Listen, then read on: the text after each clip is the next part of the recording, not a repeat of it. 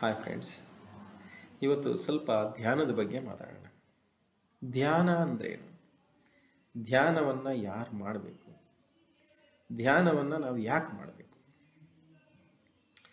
ನನ್ನ ವೈಯಕ್ತಿಕ ಅನುಭವದ ಪ್ರಕಾರ ಧ್ಯಾನ ಅಂದ್ರೇನಪ್ಪ ಅಂದರೆ ನಮ್ಮ ಮನಸ್ಸನ್ನು ಒಂದು ಕಡೆ ಕೇಂದ್ರೀಕರಿಸೋದು.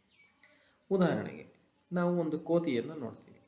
ಆ ಕೋತಿ ಮನಸ್ಸು ಒಂದು ಕಡೆ ಇರಲ್ಲ, ಆ ಕಡೆ ಹೋಗುತ್ತೆ, ಈ ಕಡೆ ಹೋಗುತ್ತೆ, ಆ ಮರ ಆಗಿರುತ್ತೆ ಈ ಮರ ಆಗಿರುತ್ತೆ ಮರದಿಂದ ಮರಕ್ಕೆ, ಗಿಡದಿಂದ ಗಿಡಕ್ಕೆ ಎಗರಾಡ್ತಿರುತ್ತೆ ಒಂದು ಕಡೆ ಕೂತ್ಕೊಳ್ಳಲ್ಲ.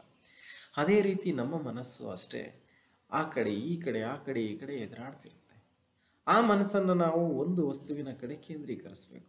ಆರಾಮಾಗಿ ಕಣ್ಣನ್ನು ಮುಚ್ಕೋತೀವಿ, ಕಣ್ಣನ್ನು ಮುಚ್ಚಿದ ತಕ್ಷಣ ನಮಗೆ ಅನೇಕ ಚಿತ್ರಗಳು ಎದುರಾಗ್ತವೆ.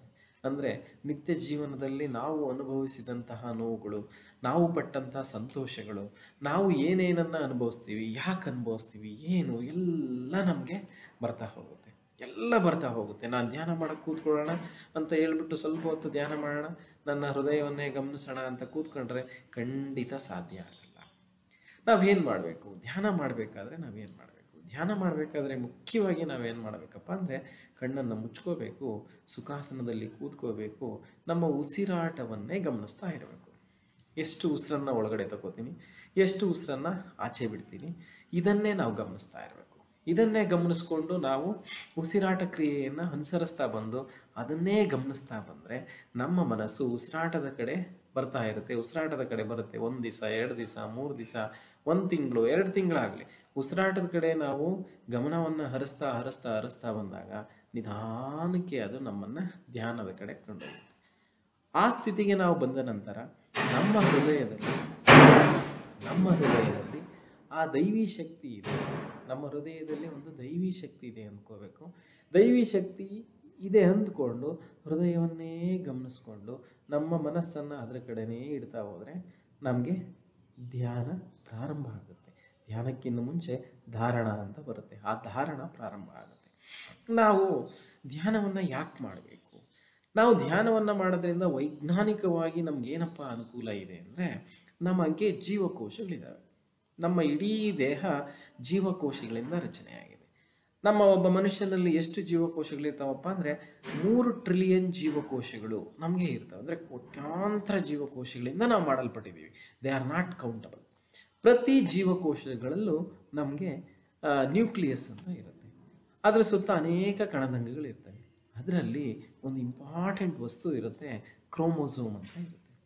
ಆ ಕ್ರೋಮೋಸೋಮು ಪ್ರತಿದಿನ ತನ್ನ ಆಯಸ್ಸನ್ನು ಕಳ್ಕೊತಾ ಹೋಗುತ್ತೆ. ಹೆಂಗಪ್ಪ ಅಂದರೆ ಈ ರೀತಿ ಇದೆ ಕ್ರೋಮೋಸೋಮು ಒಂದು ದಿವಸ ಆದಮೇಲೆ ಸ್ವಲ್ಪ ಸಿಂಕ್ ಆಗುತ್ತೆ, ಮತ್ತೊಂದು ದಿವಸ ಆದಮೇಲೆ ಸಿಂಕ್ ಆಗುತ್ತೆ ಮತ್ತೊಂದೆರಡು ವರ್ಷ ಹಿಂಗೆ ಪ್ರತಿದಿನ ಎ ಸಿಂಕ್ ಆಗ್ತಲೇ ಇರುತ್ತೆ. ಸಿಂಕ್ ಆಗಿ ಸಿಂಕ್ ಆಗಿ ಸಿಂಕ್ ಆಗಿ ಸಿಂಕ್ ಆಗಿ ಸಿಂಕ್ ಆಗಿ ಸಿಂಕ್ ಆಗಿ ಒಂದು ದಿವಸ ಅದು ಫುಲ್ಲು ಮುಡಿಸ್ಕೊಂಡ್ಬಿಟ್ಟು ಅದು ಜೀವಕೋಶ ಸತ್ತೋಗುತ್ತೆ. ನಮ್ಮಲ್ಲಿರೋ ಜೀವಕೋಶಗಳೆಲ್ಲ ಸತ್ತೋಗ್ತಾ ಬಂದರೆ ಮನುಷ್ಯನ ಆಯಸ್ಸಲ್ಲಿಗೆ ಕಮ್ಮಿ ಆಗ್ತಾ ಹೋಗುತ್ತೆ. ಫಾರ್ ಎಕ್ಸಾಂಪಲ್ ನಾವಿವತ್ತು ಒನ್ ಅವರ್ ಧ್ಯಾನ ಮಾಡಿದ್ವಿ ಅಂತ ಇಟ್ಕೊಳ್ಳಿ ಆ ಧ್ಯಾನ ಮಾಡಿದಾಗ ಇವತ್ತೇನು ಸಿಂಕ್ ಆಗಬೇಕಾಗಿತ್ತಲ್ಲ ಕ್ರೋಮೋಸೋಮು ಸಿಂಕ್ ಆಗಲ್ಲ, ಅದು ಹಾಗೆ ಇರುತ್ತೆ. ಆಗ ನಾವು ಚಿರ ಯೌವನವನ್ನು ನಾವು ಕಾಣ್ತೇವೆ. ನಮಗೆ ಕೆನ್ನೆಯಲ್ಲಿ ಸುಕ್ಲು ಬರೋದು, ಮತ್ತೊಂದು ಮಗದೊಂದು ನಮಗೆ ವಯಸ್ಸಾದಂತೆ ಕಾಣಿಸೋದು ಏನೂ ಆಗಲ್ಲ. ಆದ್ದರಿಂದ ನಾವು ಆರೋಗ್ಯವನ್ನು ಕಾಪಾಡ್ಕೋಬೇಕಾದ್ರೆ, ಮಾನಸಿಕ ಸ್ವಾಸ್ಥ್ಯವನ್ನು ಕಾಪಾಡ್ಕೋಬೇಕಾದ್ರೆ ಯು ಡೂ ಧ್ಯಾನ. ಯು ಡೂ ಧ್ಯಾನ. ಧ್ಯಾನವನ್ನು ಮಾಡೋದ್ರಿಂದ ನಮ್ಮ ಮನಸ್ಸು ಆರೋಗ್ಯವನ್ನು ಹೊಂದುತ್ತೆ. ಮತ್ತು ನಮ್ಮ ಮಾನಸಿಕ ಸ್ಥಿತಿ ಒಂದು ಸಮತೋಲನಕ್ಕೆ ಬರುತ್ತೆ. ಯಾವಾಗ ನಮ್ಮ ಮಾನಸಿಕ ಸ್ಥಿತಿ ಒಂದು ಸಮತೋಲನಕ್ಕೆ ಬರುತ್ತಪ್ಪ ಅಂದರೆ ಆಗ ನಮಗೆ ಆರೋಗ್ಯ ಚೆನ್ನಾಗಿರುತ್ತೆ. ಮನುಷ್ಯನಿಗೆ ಇನ್ನೇನು ಬೇಕು? ಹಣ ಸಂಪಾದನೆ ಮಾಡೋದು ಬೇಡ. ಬೇರೆ ಆಸ್ತಿ ಸಂಪಾದನೆ ಮಾಡೋದು ಬೇಡ. ಈಗಿನ ಕಾಲದಲ್ಲಿ, ಈ ಕಲಿಯುಗದಲ್ಲಿ ನಾವು ಹಣಕ್ಕಿಂತ ಮುಖ್ಯವಾಗಿ ಆರೋಗ್ಯದ ಕಡೆ ಗಮನ ಕೊಡ್ತೀವಿ. ಬೇಕಾದ್ರೆ ನೋಡಿ, ಬೆಳಗ್ಗೆ ಹೊತ್ತು ಎಲ್ಲ ವಾಕ್ ಮಾಡ್ತಾರೆ. ಸಂಜೆ ಟೈಮ್ ಎಲ್ಲರೂ ವಾಕ್ ಮಾಡ್ತಿರ್ತಾರೆ. ನಾವು ಧ್ಯಾನವನ್ನು ಮಾಡೋಣ. ನಮ್ಗೆ ಯಾವಾಗ ಟೈಮ್ ಸಿಗುತ್ತೋ ಆಗ ಧ್ಯಾನವನ್ನು ಮಾಡೋಣ. ಏನಿಲ್ಲ, ಸುಖಾಸನದಲ್ಲಿ ಕೂತ್ಕೋತೀವಿ. ಆರಾಮಾಗಿ ನೀವು ಚೇರ್ ಮೇಲನ ಕೂತ್ಕೊಳ್ಳಿ. ಬೆಂಚ್ ಚಕ್ಲ ಬಕ್ಲ ಹಾಕೋಣ ಕೂತ್ಕೊಳ್ಳಿ. ನಿಮ್ಗೆ ಯಾವ ರೀತಿ ಸುಖವಾಗಿ ಕೂತ್ಕೊಳ್ಳೋಕ್ಕಾಗುತ್ತೋ ಆ ಕೂತ್ಕೊಂಡು ನಮ್ಮ ಕೈಗಳನ್ನು ಒಂದ್ರ ಮೇಲೊಂದು ಇಟ್ಕೊಂಡು ಕಣ್ಣನ್ನು ಮುಚ್ಚಿ ನಾವು ಉಸಿರಾಟದ ಕಡೆ ಗಮನ ಹರಿಸ್ಬೇಕು.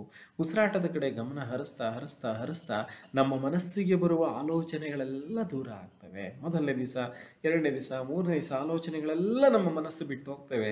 ಆಗ ನಾವು ಒಂದು ಎರಡು ತಿಂಗಳಾದಮೇಲೆ ಪಕ್ವ ಆಗ್ತೀವಿ ಕಣ್ಣನ್ನು ಮುಚ್ಚಿದ ತಕ್ಷಣ ನೇರವಾಗಿ ನಮ್ಮ ಮನಸ್ಸು ಧಾರಣ ಸ್ಥಿತಿಗೆ ಹೋಗುತ್ತೆ. ಧಾರಣದಿಂದ ಧ್ಯಾನ ಸ್ಥಿತಿಗೆ ಹೋಗ್ತೀವಿ.